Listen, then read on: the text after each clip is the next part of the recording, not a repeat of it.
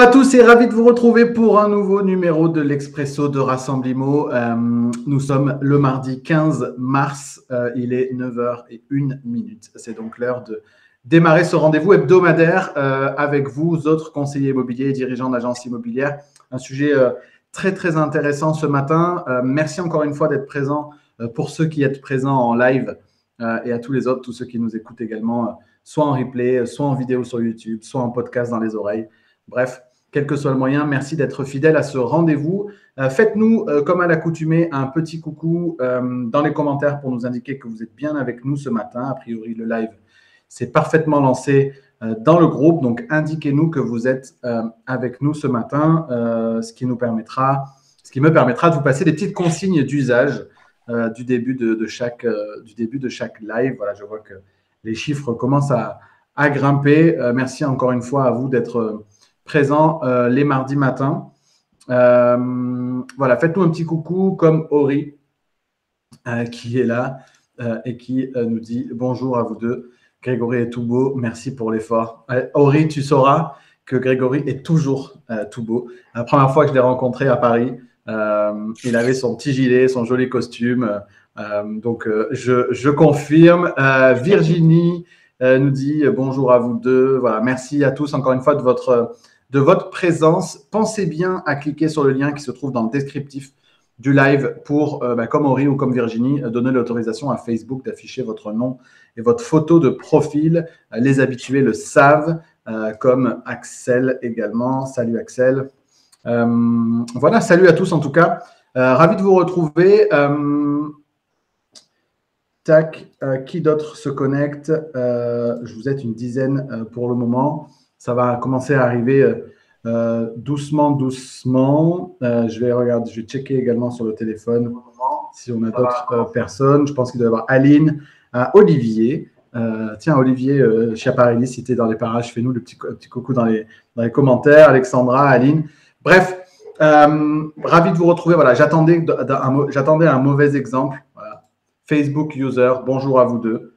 Alexandra, pas toi, pas toi, Alexandra. Euh, donc, euh, cliquez bien sur le lien qui se trouve dans le descriptif pour donner l'autorisation à Facebook, voilà, comme Cathy également. Bref, voilà pour les, consignes euh, d'usage.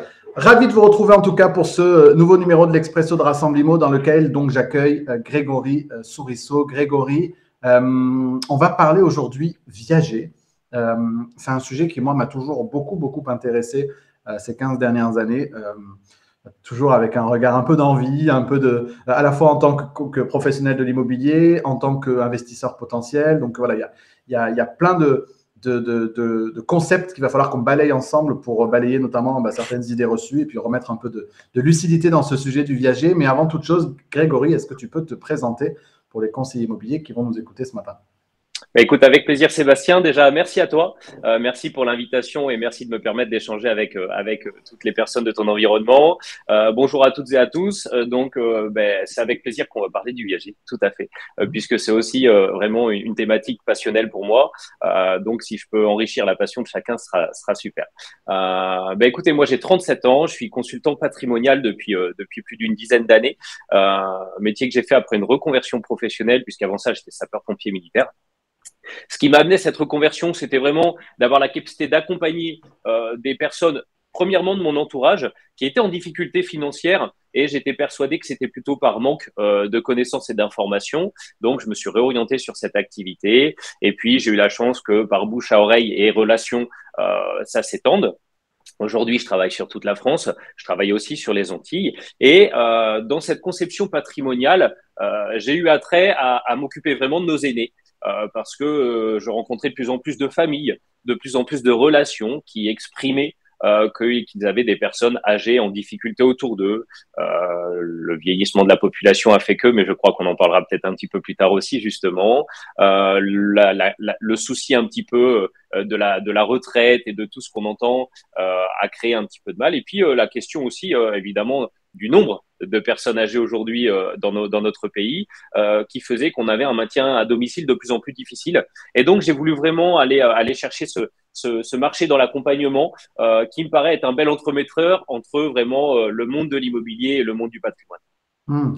Qu'est-ce qui amène, Grégory, avant qu'on parle de, tous ces sujets que tu viens, que tu viens d'aborder, je voudrais vraiment qu'on décortique la raison qui amène justement ces familles à se poser la question du, du, viager.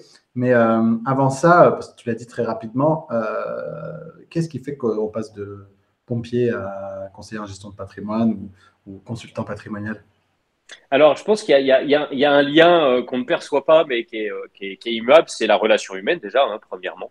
Euh, c'est vraiment cet accompagnement sur le long terme, c'est cette rencontre et cette découverte d'une situation.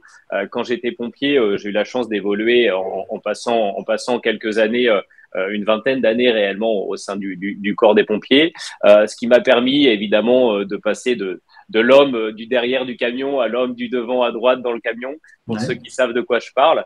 Et donc d'être plutôt dans euh, le visuel, dans, dans ce regard et cette découverte de la situation pour mettre des choses en place justement pour aller à, la fin, à la fin de, de, de, de cette, euh, de cette activité, dans, dans, dans, dans l'intervention réellement. Et en fait, dans mon métier de consultant patrimonial et d'expert viager, je vis exactement la même chose. C'est-à-dire que quand je rencontre une personne, la première chose que je me dois de faire et ce qui me passionne, c'est d'être à l'écoute et de comprendre réellement quelle est sa situation.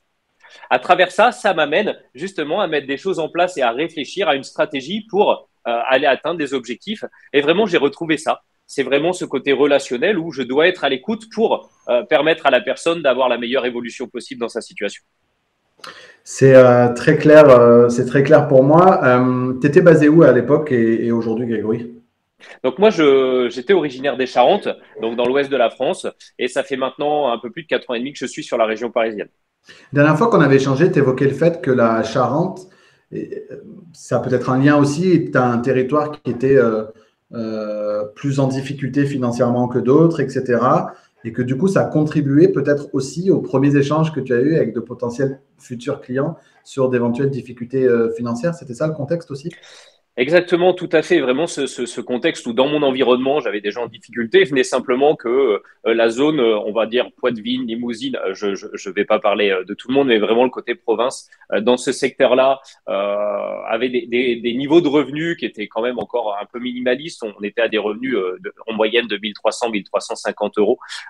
et comme, comme tout le monde, quand on crée un foyer, on a tout de suite envie de devenir propriétaire tout du moins, c'est ce qu'on nous a donné comme information et c'est l'éducation financière qu'on nous a donné dans cette dans Avec une, vraie, euh, une vraie culture terrienne en plus là-bas qui, qui accentuait la, la volonté d'être propriétaire de, de sa maison, c'est ça?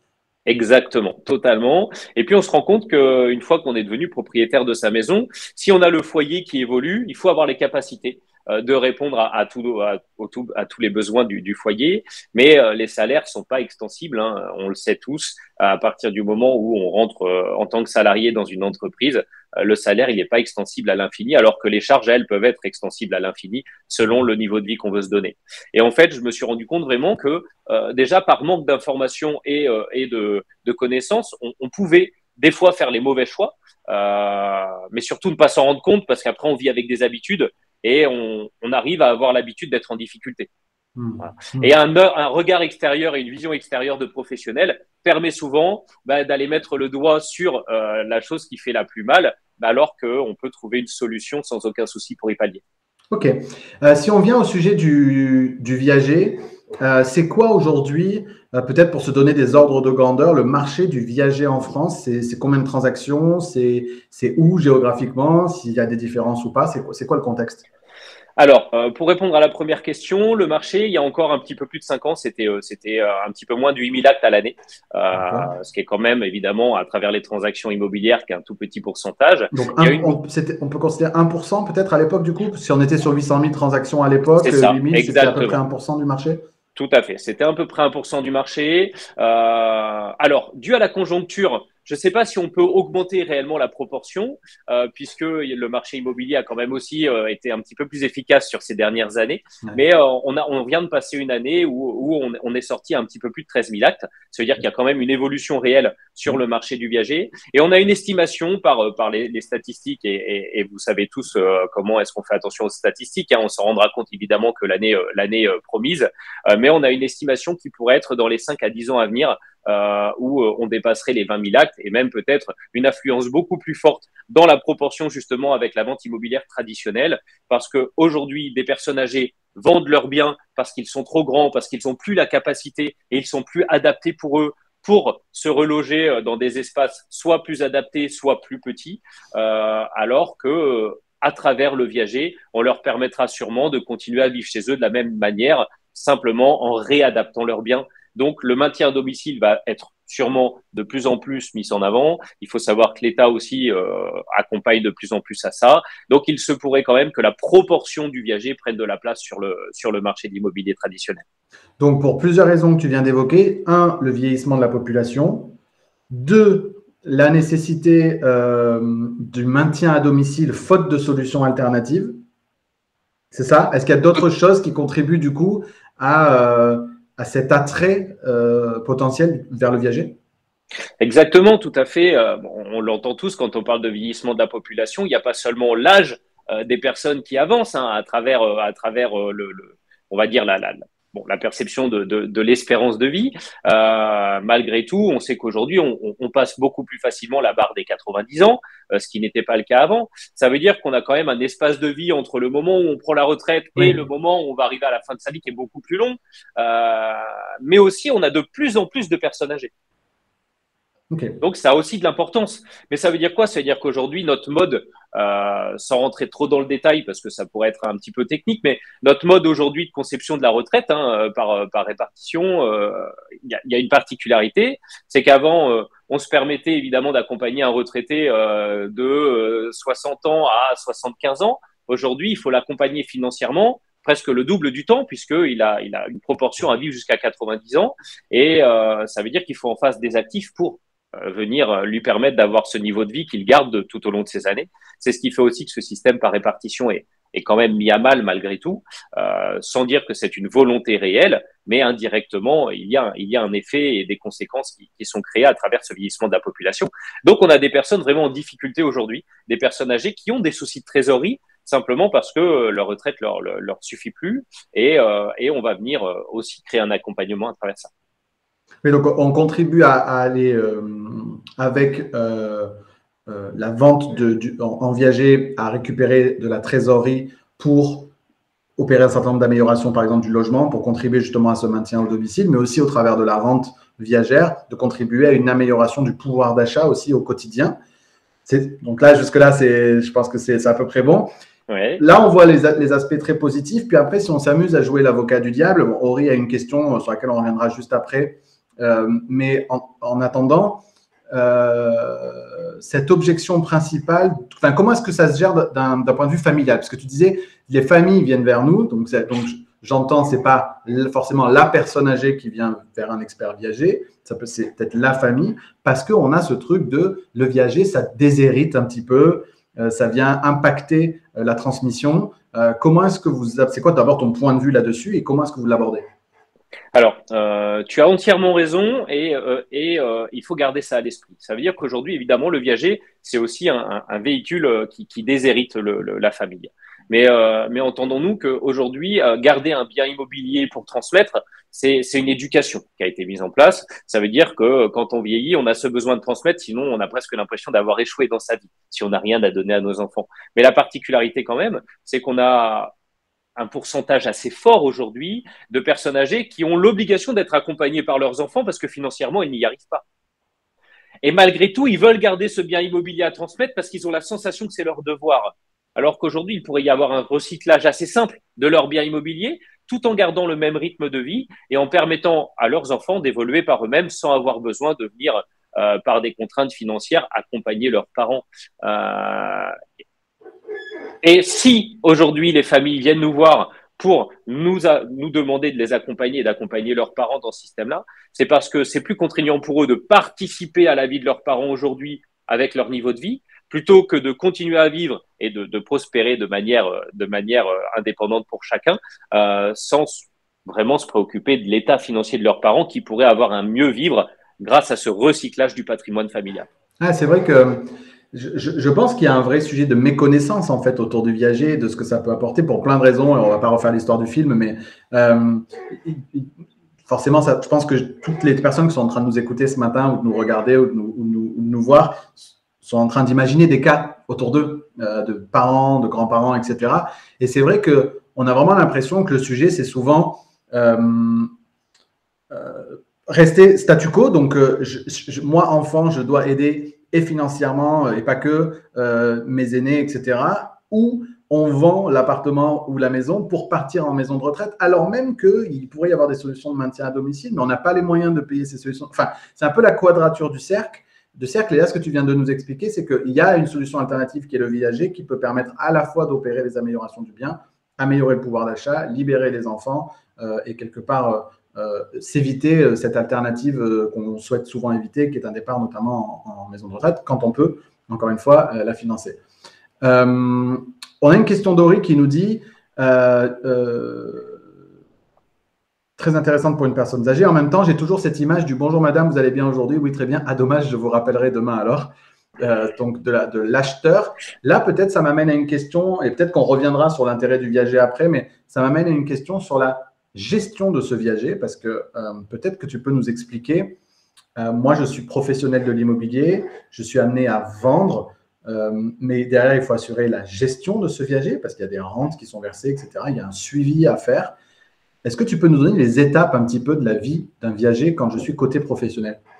Bien sûr. Alors, tu l'as dit, il y, a, une grosse importance, évidemment. Euh, ce marché euh, du, viager est en train de s'ouvrir réellement et on a de nombreux professionnels de l'immobilier qui s'y intéressent. mais je pense que c'est un métier qui reste assez différent pour une simple et bonne raison, c'est qu'on est obligatoirement, on rentre dans un contrat à long terme un contrat avec une notion d'aléa qui est très importante, puisque aujourd'hui, on ne peut pas définir à quel moment ce contrat s'arrêtera, et c'est ce qui fait qu'il existe. Sinon, on ne pourrait plus vendre en viager si on n'avait plus la notion d'aléa. C'est-à-dire que si on sait qu'une personne est, euh, est, malade ou a une souffrance, on n'a pas la possibilité aujourd'hui juridiquement euh, de prendre un mandat viager pour vendre son bien. C'est interdit par la loi. Ça, c'est une réglementation importante. On doit avoir cette notion d'aléa. Euh, quand on est professionnel dans, dans, dans, le cadre de l'expertise viagère, euh, évidemment, il y a beaucoup d'étapes. La première, c'est déjà de comprendre pourquoi. Pourquoi est-ce qu'aujourd'hui, cette personne, elle a besoin euh, de vendre son bien ou pourquoi elle a eu l'idée de vendre son bien. Est-ce que la réalité, c'est pour un besoin de trésorerie parce qu'il y a des difficultés financières? Est-ce que c'est simplement pour une conception environnementale parce que le bien n'est plus adapté? Euh, Tout ça, il faut aller, il faut aller chercher euh, vraiment pour comprendre. Et puis, on a aussi des cas qui sont très minimalistes, mais qui sont simplement ben, les difficultés dans le foyer, on s'est fâché avec les enfants. Aujourd'hui, on ne souhaite surtout pas qu'ils reçoivent notre patrimoine, donc on veut le vendre tout de suite en viager pour le sortir de la succession ça existe, il faut en prendre compte, mais en toute honnêteté, c'est pas les transactions euh, qu'il faut réellement accompagner parce que euh, le but du viager doit rester un but de bienveillance. Euh, dans l'échange que, vient de nous, offrir Ori, et je la remercie pour la question parce qu'elle est importante, bien sûr qu'on peut imaginer que l'acquéreur va chercher vraiment la fin, la fin du bien en viager. Mais euh, c'est pas authentique puisque dans les faits, plus de 30% euh, des euh, ce qu'on va appeler le crédit, euh, le rentier qui, qui, est le vendeur et le débit rentier qui est l'acquéreur deviennent des gens qui ont une forte relation. Pas pour le pousser dans les escaliers comme on pourrait l'imaginer, bien au contraire, parce qu'aujourd'hui il faut que le bien y vive, il faut que le bien y soit entretenu et il faut qu'il y ait un réel échange entre deux. En plus, dans ce contrat qui est un contrat à long terme, même si on est sur une base de vente de gré à gré, il y a des obligations pour chaque partie il y a une, obligation d'entretien pour l'occupant et il y a une obligation structurelle pour l'acquéreur. Euh, donc tout ça doit être, doit être créé et, et, mis en place correctement.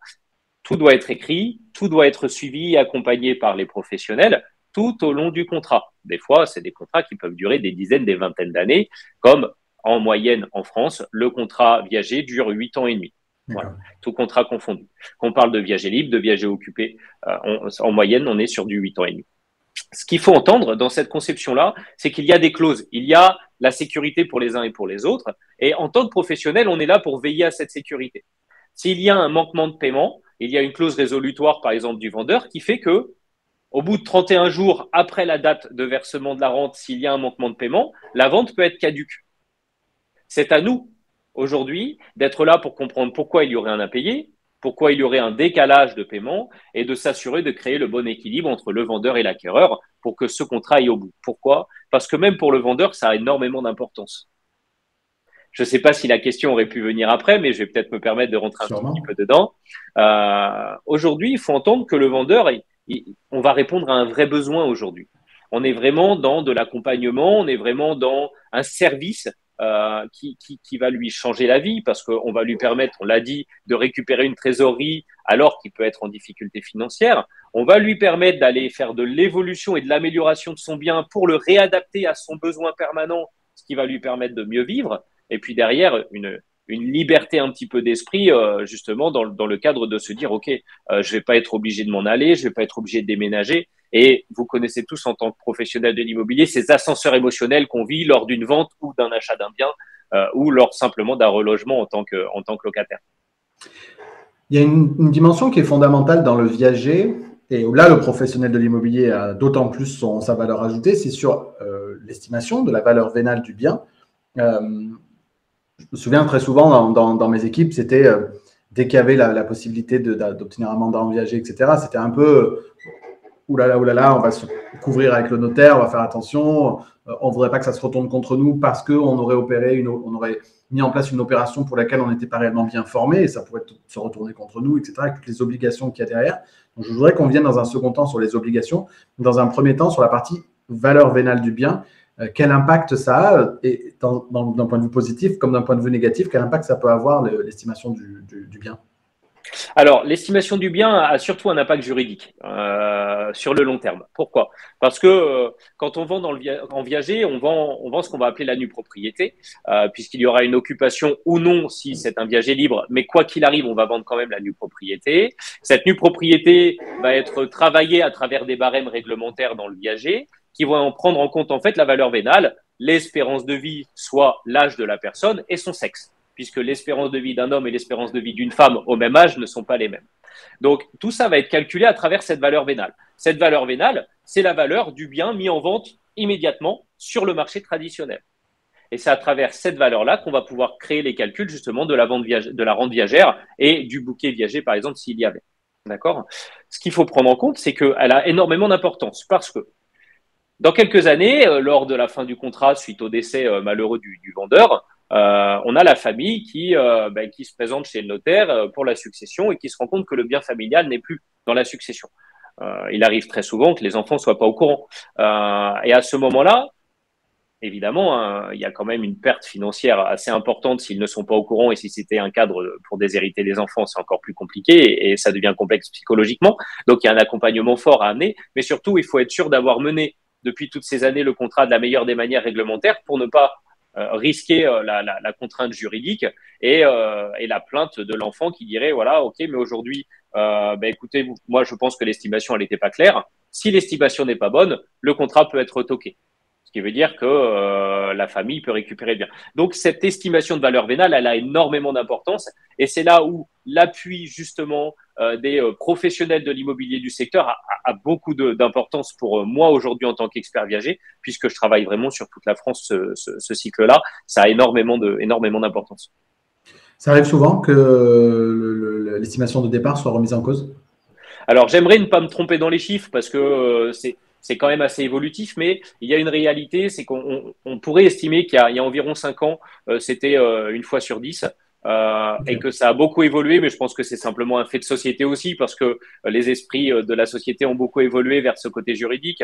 Euh, Aujourd'hui, on, on, pourrait tendre plutôt à, à une sur trois. C'est beaucoup. Ce qui ne veut pas dire qu'elle est recevable. Exactement, exactement. Là, on est bien sur le contexte de, de la, de, la, de la plainte, hein, de la contrainte est, exprimée donc de la plainte. Mais euh, notre travail aujourd'hui, c'est de, de, tout faire pour que ce soit irrecevable dès le départ, en fait, et qu'on qu puisse s'en assurer. Du coup, ça m'amène sur le sujet des, des, obligations. Euh, je suis un professionnel de l'immobilier euh, spécialisé en viager. Quelles sont les obligations, moi, que je dois avoir pour euh, couvrir cette activité? Euh, Qu'est-ce que je dois mettre en place? Euh, je, te propose qu'on arrive, qu'on vienne sur le sujet de, ben voilà, je suis conseiller immobilier indépendant aujourd'hui sur un territoire. C'est un sujet qui m'intéresse. Euh, c'est un sujet qui peut aussi me permettre d'avoir un complément de chiffre d'affaires ou d'aller euh, augmenter mon, activité avec parce que j'y vois et toute la mission qui peut être tout à fait intéressante derrière. Qu'est-ce que je dois faire? Quelles sont mes obligations? Qu'est-ce qu que tu me conseillerais? Alors, Euh, si je me permettais de donner un conseil, je donnerais celui de ma collaboration. Euh, évidemment. Hein, en, délégation de mandat, en partage de mandat, c'est ça? Tout à fait, tout à fait. Aujourd'hui, euh, on travaille, on travaille aujourd'hui de plusieurs manières et les manières qui sont les plus adéquates, les plus efficientes pour chacun. ça peut être en, délégation, en interagence. On a plein de solutions aujourd'hui pour faire de l'accompagnement. on a des professionnels qui veulent vraiment pas s'occuper de cette partie-là et pas être intégrés à toute cette partie d'accompagnement. donc, dans ce cas-là, on, on est plus sur euh, sans être péjoratif de l'apport d'affaires, mais qui est quand même qui est quand même bien motivé. Euh, et ensuite, ben, c'est de devenir, pour ceux qui auraient cette appétence vraiment, c'est de devenir professionnel euh, dans l'expertise viagère. il y a des centres de formation qui existent aujourd'hui, hein, dont, dont, dont, je fais aussi partie. et il y a aussi la capacité aussi, d'être accompagné dans des groupes professionnels qui font vraiment de l'expertise viagère. Voilà rien n'empêche aujourd'hui un professionnel de l'immobilier mandataire indépendant euh, de rejoindre un groupe d'experts viagers pour accompagner sur le long terme, sous la forme juridique justement, ses clients. Euh, et puis garder ce lien sur, le, sur la, pérennité de l'histoire avec ses clients, euh, tout en continuant à faire de l'immobilier traditionnel à travers son entité ou une autre entité s'il le souhaite. Euh, et si après vraiment il veut aujourd'hui euh, devenir expert viager, il y a euh, dans les formations loi Allure aujourd'hui un accompagnement qui est possible. Ok.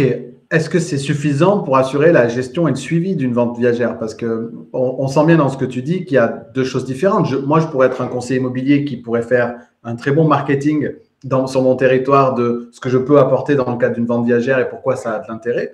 Euh, ou face à un vendeur euh, qui se poserait la question, ou, pas d'ailleurs, ou, soumettre la question peut-être à un vendeur en rendez-vous de est-ce que vous aviez envisagé d'eux Peut-être que moi, je peux être très fort en prospection, en marketing, en communication, générer des opportunités et j'ai compris les donner quelque part à un spécialiste du viager, ou je peux décider de mener la totalité du processus. Mais là, est-ce qu'une simple formation suffit pour mener, euh, assurer le suivi et la gestion d'une vente viagère? Parce que pour avoir fait euh, trois jours de formation, et c'est peu, sur la vente viagère euh, et la gestion viagère, on s'aperçoit qu'on est vraiment au carrefour d'une activité de transactionnaire et d'une activité de gestionnaire immobilier. Quoi. Euh, que, qu'est-ce que tu peux nous dire là-dessus? Alors, je te rejoins totalement sur le fait qu'aujourd'hui, réglementairement, ça suffit, puisque réglementairement, il suffit d'avoir d'avoir les, les, notions théoriques pour, pour mener à bien tout ça. Après, il y a une question euh, de relation et d'empathie, hein, évidemment, qui est très importante parce qu'on parle de personnes âgées. Ça veut dire qu'il va falloir être aussi à l'écoute sur le long terme parce que euh, certaines personnes qu'on rencontre aujourd'hui euh, passeront à l'action réellement que dans deux à trois ans. Hein. Mmh. le, temps d'échange n'est pas du tout le même pour, pour l'acquisition de la confiance, pour toutes ces choses-là. donc, c'est aussi un travail de long terme dans la relation humaine avant de passer à la commercialisation. Pour aller un petit peu plus loin dans la gestion du bien. Oui, tu as totalement raison. Moi, j'ai souvent envie de dire que euh, c'est un métier qui convient très bien à un gestionnaire de patrimoine. Pourquoi? Parce que on parle d'évolution. Euh, du foyer. Dans la gestion de patrimoine, on parle d'évolution permanente puisque euh, les décrets sont remis en place en permanence. On va changer, on va trouver de nouvelles habilitations, des recyclages permanents, un accompagnement permanent parce que chaque situation personnelle évolue de la même manière selon son vieillissement et selon euh, l'importance de son foyer. Euh, et en fait, le viager va, être euh, suivi de cet accompagnement à long terme avec un minimum d'échanges aujourd'hui qui va être de deux fois par an. Mais là, c'est vraiment le minimum si tout se passe bien. Sinon, on peut être appelé à avoir des, des coups de téléphone beaucoup plus souvent de nos clients, vendeurs ou acquéreurs. Il y a des exemples très simples. Hein. c'est j'ai une fuite au toit qui s'en occupe. Euh, bien c'est l'expert euh, viager qui va prendre ça en compte. C'est euh, j'ai un arbre qui vient de tomber en plein milieu de ma cour. Est-ce que c'est à moi en tant que vendeur ou est-ce que c'est l'acquéreur qui doit s'en occuper? La chaudière vient de tomber en panne. Comment on fait? Je comprends pas. J'ai reçu la taxe foncière alors qu'on m'avait dit que c'était pas à moi de la payer. Il y a plein de choses. Mais ce qu'il faut entendre, c'est que ce contrat est bien un contrat de gré à gré. C'est-à-dire que tout doit être stipulé au départ, parce que si on oublie quelque chose, il n'y a plus de règles puisque c'est simplement un accord entre un vendeur et un acquéreur. C'est très clair. On a un commentaire d'Axel euh, que tu dois connaître qui dit Je confirme, je ne connaissais rien aux viagers. Je viens de réaliser mon premier viager avec Greg et Juliette. Il y a un vrai accompagnement et un suivi à chaque étape. Une vraie confiance long terme s'installe. Voilà. Merci Axel. Euh, ok, c'est très clair. Euh, sur l'aspect, si moi je suis acquéreur d'un viager, est-ce que je dois prévoir une poche justement pour cet entretien, etc. Et est-ce qu'elle est plus élevée qu'elle ne le serait si je faisais un investissement locatif euh, classique finalement? Alors, quand on parle de poche, est-ce que tu peux, tu peux aller plus loin dans le. tu, disais, tu disais à l'instant, euh, oui, euh, si un arbre tombe, si une fuite, etc., etc., est-ce que je dois considérer qu'une fois que j'ai acheté ce viager, je dois garder de la trésorerie de disponible pour cet entretien, l'entretien de ce bien-là, comme je le ferais dans un investissement locatif classique?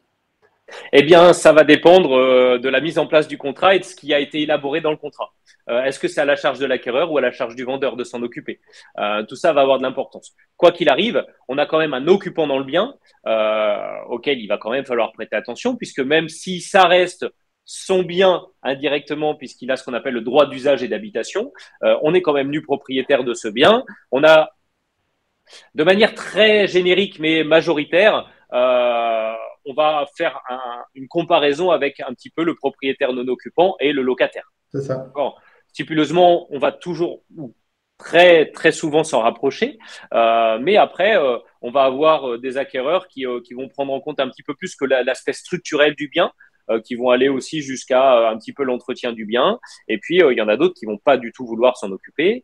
il faut savoir que 70% aujourd'hui de nos biens sont rachetés par des institutionnels ou euh, des, euh, des, investisseurs professionnels hein, qui, euh, qui s'intéressent seulement au marché du viager et qui aujourd'hui nous demandent de les accompagner dans cette recherche et dans cette, commercialisation pour assez peu aujourd'hui de particuliers encore, alors que si on devait parler du point de vue investisseur, oui, il y a un, intérêt potentiel sur le long terme à investir aujourd'hui dans de la diversification viagère, et ça veut dire qu'on a un intérêt commun entre le vendeur et l'acquéreur financier, euh, puisque les deux vont pouvoir vraiment retrouver un, bien-être de vie et, euh, un, aspect euh, trésorerie patrimoine sur le long terme qui va être plutôt intéressant. Est-ce qu'on est, est, est, susceptible de considérer que du coup, notre vendeur, donc l'occupant du viager, prenne plus soin quelque part du bien que ne le ferait un locataire parce que quelque part, c'est son bien historiquement?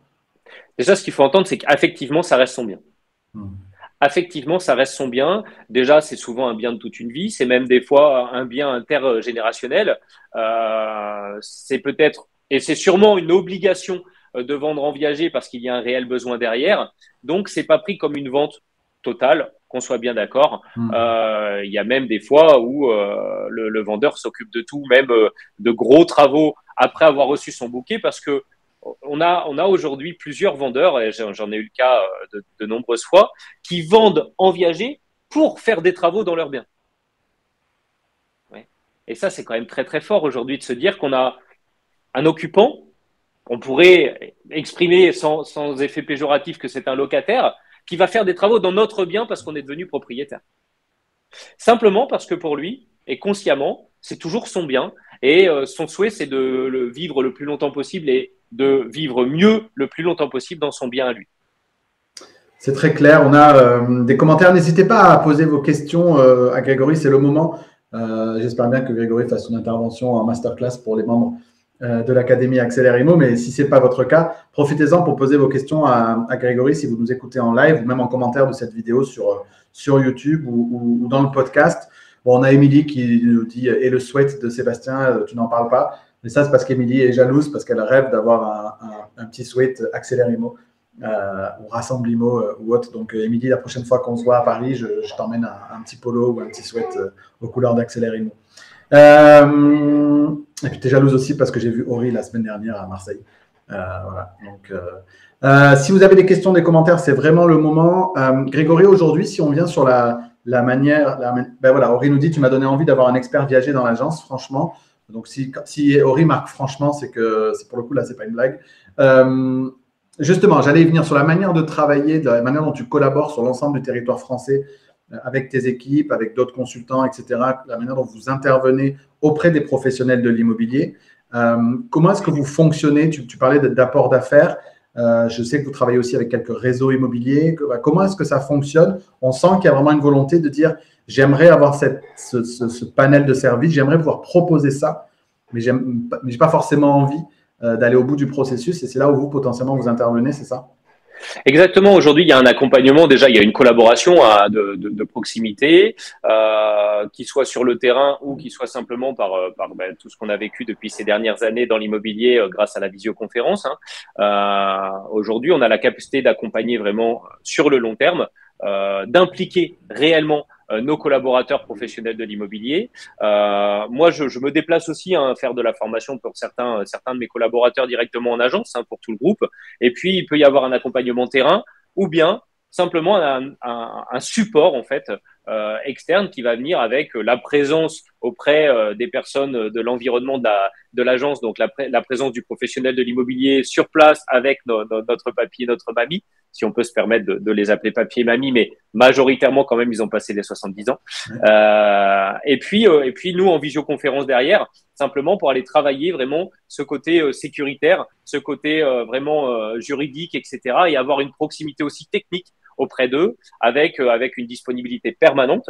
Euh, donc tout, tout ça est possible. Et puis après, on peut on peut justement travailler euh, en service décomposé un petit peu en intra-agence pour que, ben pour que l'agence puisse proposer justement ce support à travers nous sans aucun problème. Ok. Maxime nous dit, Grégory, quelles sont les qualités requises pour vendre du viager Empathie, professionnalisme, conseil Maxime, qui est le profil parfait du, du, du, du genre idéal, donc euh, sûrement que ça marcherait très bien, mais est-ce que tu peux nous en dire plus sur les qualités? Alors, euh, les qualités, on, va dire qu'on est quand même sur un marché de personnes âgées qui ont besoin d'être confiants et d'être accompagnés avec de la proximité.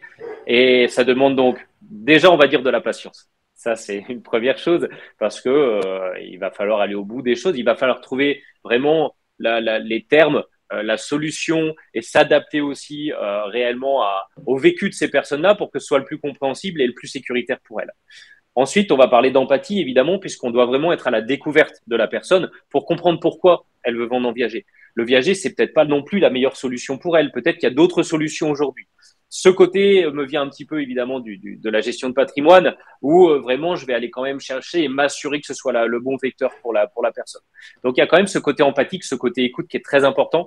On va avoir et là, je m'excuse pour beaucoup de, de professionnels de l'immobilier qui, euh, qui euh, je les côtoie depuis de nombreuses années. Euh, beaucoup sont quand même vraiment dans cet état un petit peu euh, commercial, évidemment, parce que c'est aujourd'hui ce qui les implique, mais ce n'est plus du tout une généralité et on le ressent même. Il y a une vraie évolution hein, sur ce sur ce contexte-là.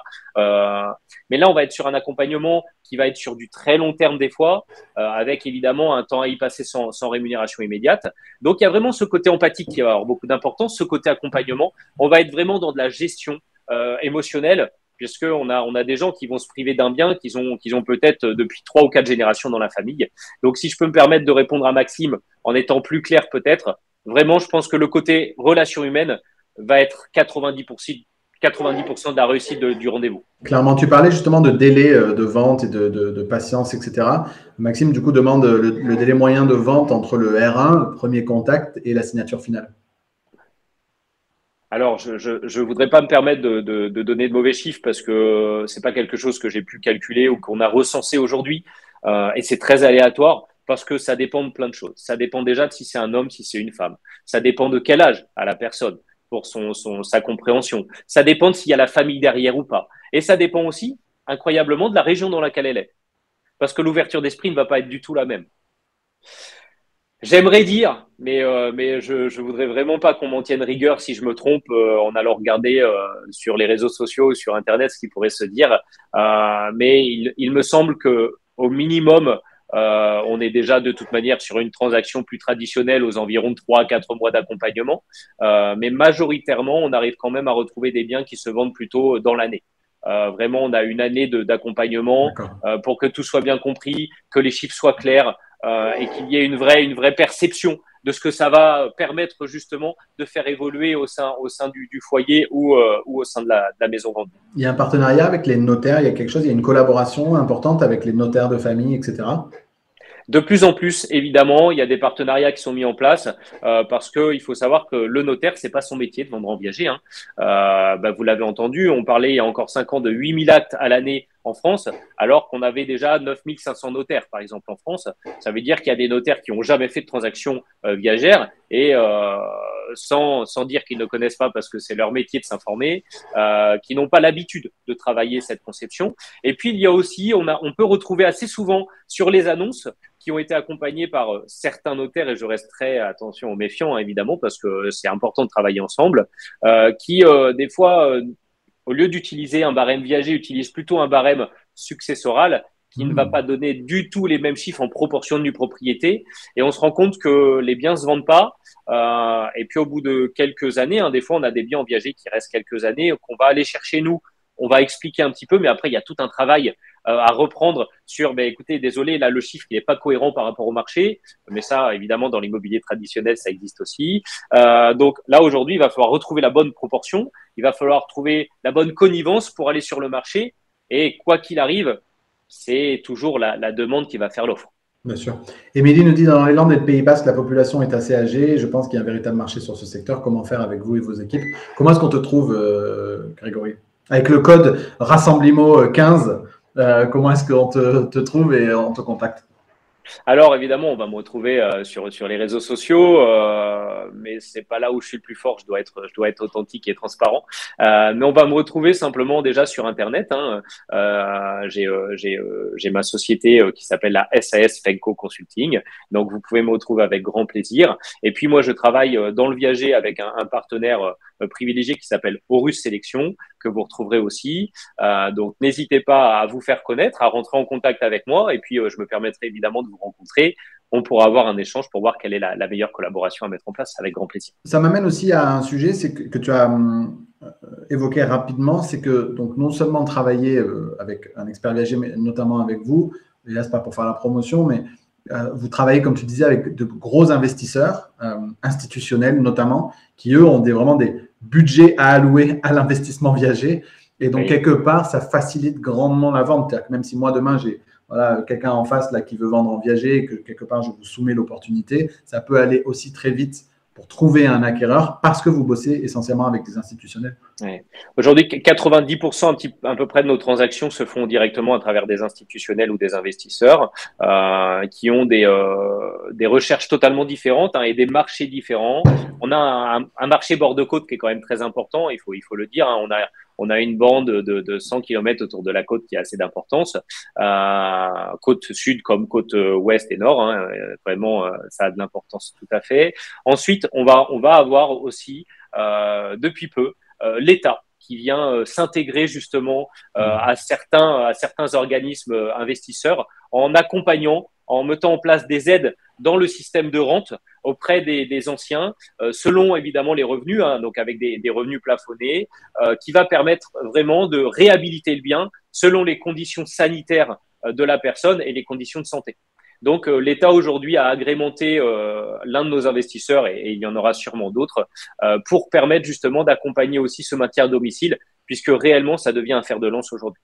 Et, et, le renouvellement des biens, on a un gros enjeu de de, de, passoires thermiques euh, énergétiques. On a un vrai enjeu de renouvellement du parc immobilier au sens large, euh, notamment pour des raisons environnementales. Et donc, ça a aussi de l'intérêt peut-être de, de, venir euh, booster, j'allais dire, la rente ou de venir en tout cas au soutien de ces sujets-là pour permettre justement cette transition énergétique. Tout à fait, exactement. On va aller encore plus loin, même euh, si on peut se le permettre, en, parlant vraiment euh, de votre environnement proche. Quand je parle de l'environnement proche, bon, c'est déjà tout le monde connaît des personnes âgées évidemment autour de soi. Euh, tout le monde en connaît en plus qui peuvent être en difficulté, mais on a aussi nos, axes associatifs. aujourd'hui qui peuvent répondre justement à, ce, à cette, mise en place d'informations, de connaissances auprès des personnes âgées. Hein. On a tous des associations dans nos mairies qui s'occupent très très bien de nos aînés, euh, avec beaucoup de proximité justement. Euh, il peut être très intéressant de se rapprocher d'eux. Et puis on a aussi nos mères, simplement, qui aujourd'hui ont du patrimoine des fois euh, qui est plus ou moins bien entretenu. Euh, on a des personnes âgées qui sont parties en maison de retraite, qui ont du mal à payer la maison de retraite alors que leur bien est, est libre aujourd'hui. Donc on va pouvoir aller le recycler simplement parce qu'ils ont la notion que pendant leur durée de vie, ils doivent garder ce bien à eux. Euh, Aujourd'hui, indirectement, on a, cette notion du viager libre, par exemple, qui va permettre qu'ils conscientisent qu'ils ont toujours leur bien, mais ça leur permet tout de suite d'avoir une trésorerie qui leur permet euh, d'avancer justement dans, le paiement de, leur vie de tous les jours, qui est devenue une vie, de, de personnes euh, en EHPAD ou euh, hospitalisé même des fois, hein, évidemment. Euh, donc, on a vraiment ce, ce, ce, recyclage du patrimoine qui peut être pris en compte. Et on a donc nos institutionnels, les mairies par exemple, qui sont, qui sont de plus en plus à l'écoute à ça.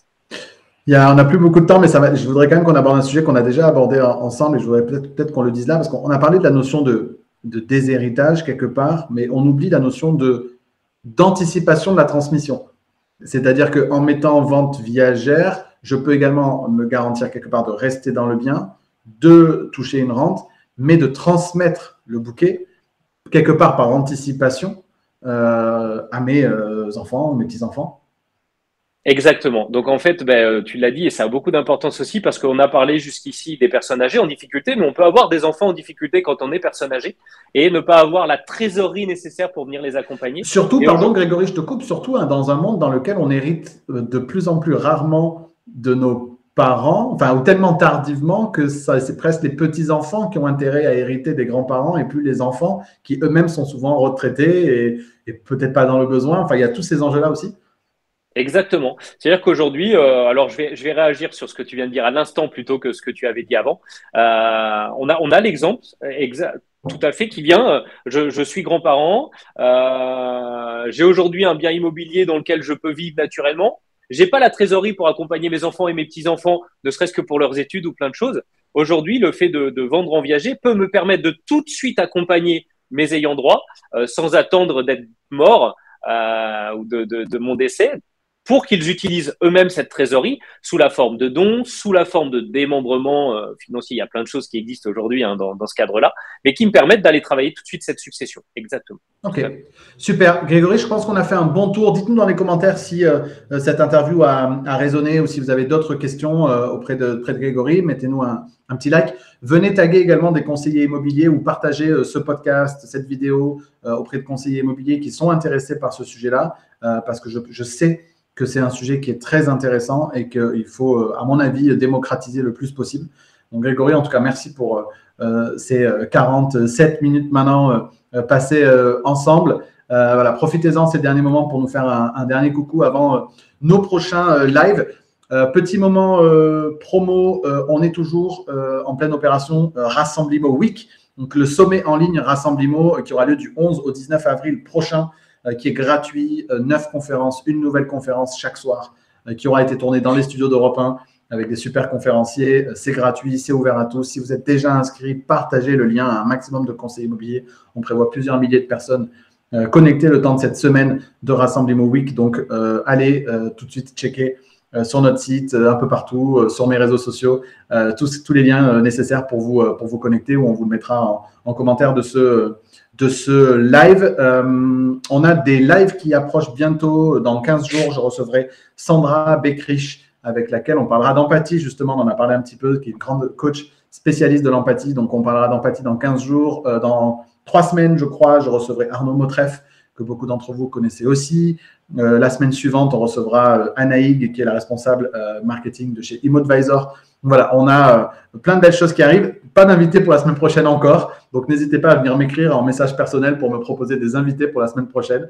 Euh, mais j'aime bien faire les choses en dernière minute, vous, vous, me, connaissez. Euh, Qu'est-ce qu'on a? Juliette, du coup, nous dit ben, Greg au top comme toujours. Maxime, merci Grégory pour cette interview inspirante. On se retrouve sur LinkedIn.